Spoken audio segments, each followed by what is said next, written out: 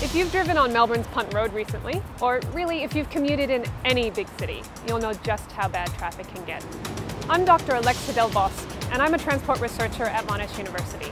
Punt Road is what traffic engineers call an arterial road, which means that unlike a freeway, it's subject to demands from cross traffic in various directions at different times throughout the day. Not to mention the buses and cyclists and pedestrians all competing for limited road space. So to fix the traffic on Punt Road, to change it, our research looks for answers in unconventional places. Because it's not just about adding more lanes anymore.